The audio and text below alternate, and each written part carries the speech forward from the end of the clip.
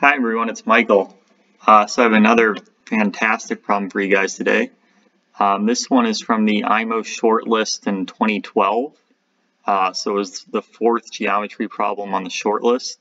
Um, so uh, I hope you all enjoy it. It's a, it's a neat little problem that doesn't have too many initial lines.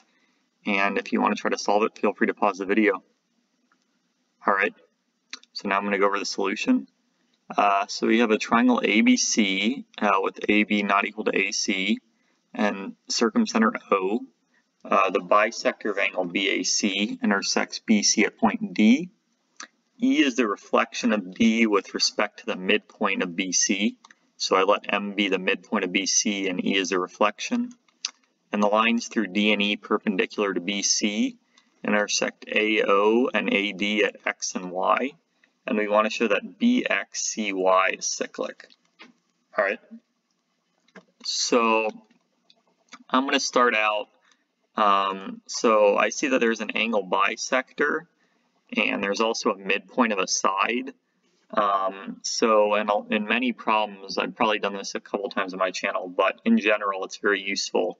If you have an angle bisector and a midpoint of, of the corresponding side, uh, often it helps to draw, um, so if you draw the perpendicular bisector through the midpoint of that side, um, and you see where it meets the angle bisector, that lies on the circumcircle of ABC. And the reason for that, so I'm going to draw the circumcircle, but um, so why does the angle bisector of BAC meet uh, the perpendicular bisector of BC um, at a point on the circumcircle of ABC. Um, that's because basically um, since angle BAC, um, since AF is, is the bisector of it, um, if, if we let that bisector meet the circle at a point F prime, let's say, well, then angle BAF prime would have to equal angle CAF prime. And so since equal angles um, intercept equal arcs, that would mean F prime would have to be the midpoint of arc BC. And so F prime would have to be F, which is um, where the perpendicular um, to BC through M uh, meets the angle bisector. Uh, so ABCF has to be cyclic. Um, and so, so this is, I just started out doing this because it's, it's useful in many problems. Um, and also, um, clearly, since MF and EY are both uh, perpendicular to BC, they have to be parallel. Um, and so, since M is the midpoint of DE, F has to be the midpoint of DY. All right. Uh, so where do we go from here? Um, so ultimately, we want to show that BXCY is cyclic. Um, so there's a couple different ways to show that a quadrilateral is cyclic. Um, so one way is to try to use power of a point. Um, I'd say that's probably the most common way, uh, but it's kind of hard to see here exactly how we would do that. That doesn't seem like um, the most effective strategy. I'm not saying that there it's impossible to do it that way, um, but I had trouble seeing how to do it that way. Um, and then another way is the inscribed angle theorem. So if we can show that, um, let's say two inscribed angles, let's say bxy is equal to bcy, uh, that would show it's cyclic. Um, but that also seems kind of hard. Um, Another strategy is to try to find the uh, center of the circle. Um, that also seems a little tricky. So I'm going to use a technique uh, different from all those.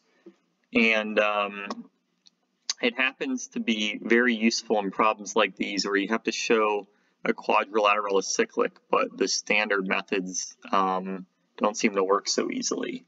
So basically, if I can't directly show BXCY cyclic, maybe I can create another uh, point, a fifth point, and maybe I can show that um, three of the four original points are cyclic with that fifth point, and another subset of three of those points are also cyclic with that fifth point.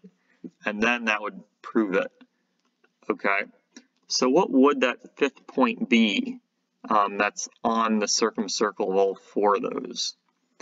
Um, and it turns out that that fifth point that I'm going to use, it's um, basically if you extend segment XD, it's the perpendicular from Y to XD. Um, and that point, um, by symmetry, BCY and that point form an isosceles trapezoid, and all isosceles trapezoids are cyclic. So that's kind of how um, you would think about that. Um, and I kind of thought about that because I saw all these perpendiculars. I thought, how could I leverage them to get that fifth point? Um, so that's kind of my strategy here. Okay, so I'm going to extend XD, and I'm going to let the perpendicular from Y to XD meet it at G. And now, by the symmetry of the figure, you can see that BCYG is an isosceles trapezoid. So therefore, it has to be cyclic. So if those four points lie in a circle, and if, the, if it were actually true that BXCY was cyclic, then X would have to lie on that same circle. Okay? So what else can we derive from this? Well, it's pretty clear that DEYG has to be a rectangle because all these um, angles are all perpendicular by construction. Um, so if F is the midpoint of DY, then it also has to be the midpoint of EG, because in a rectangle, um, obviously the, the two diagonals bisect each other. Uh, that's actually true in any parallelogram, not just a rectangle. Um, so here I wrote it out. DEYG is a rectangle, so EF and G are collinear. Okay. Um, and then, as I mentioned before, BCYG is an isosceles trapezoid, so it has to be cyclic. Um, and that can be seen in a couple of ways. Um, so one easy way is that the opposite angles have to add up to 180 degrees, and that's not too hard to see. So I'll let you uh, prove that if you haven't seen it before. Um, and so if those four points lie in a circle, then we want to show that x lies on that same circle, and that would solve the problem. So how do we do that? Um, so power of a point seems like clearly the easiest way here. Um, we would want to show that xd times dg is bd times dc, and that would uh, end up proving the problem. Okay, and they're all perpendicular, or, or xg is perpendicular to bc, so that seems like a pretty reasonable approach. Okay, now, so one thing um, that's worth noting is that uh, since XD is parallel to OF, triangle AXD has to be similar to triangle AOF. But triangle AOF is isosceles because OA is equal to OF since all radii are equal. Um, so therefore AXD has to also be isosceles. So I'm going to write that out. Um, so AX over XD is equal to AO over OF, and obviously that's equal to 1 since the radius AO is equal to the radius OF. And so AX has to equal XD. So AXD is isosceles. Um, and it's not hard to also see that um, DFG has to be isosceles um, because DEYG is, is a rectangle. Um, so since F is the center, uh, that's easy to see by symmetry. So we have two isosceles triangles, and they both share an angle because angle XDA is equal to angle DGDF. Um, so they have to be similar isosceles triangles. Um, so I'm going to write a, I'm going to do a little angle chase here. Um, that's fairly easy. So angle XAD has to equal angle XDA because angle because triangle XAD is isosceles, and then angle XDA has to equal angle FDG obviously because those are vertical angles, and angle FDG has to equal angle FGD because like I mentioned, DF is equal to FG. And so what does that tell us? If angle XAD is equal to angle FGD, then that means that XAGF has to be cyclic. Um, uh, I, wrote that, then I erased it. Um, but uh, XAGF is cyclic because XAD is FGD. That's and um, if two inscribed angles are equal, then the, the quadrilateral has to be cyclic. Um, okay, so how is that useful?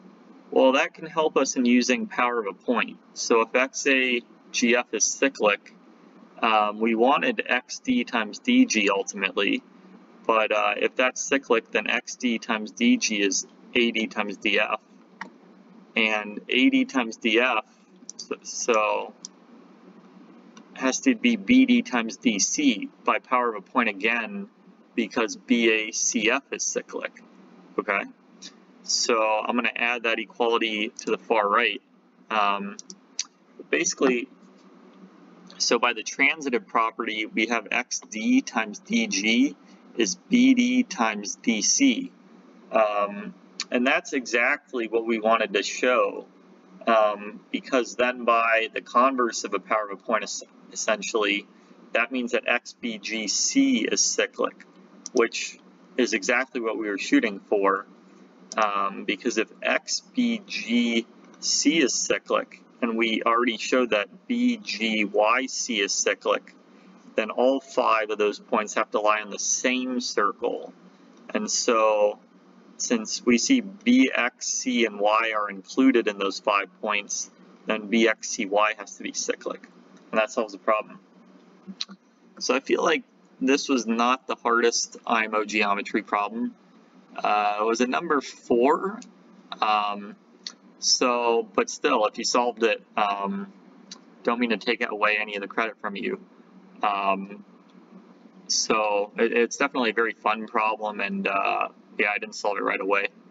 Um, so if you like this um, problem, give, give the video a thumbs up. And if you'd like to see more like this, uh, feel free to subscribe to my channel. Thanks, everyone.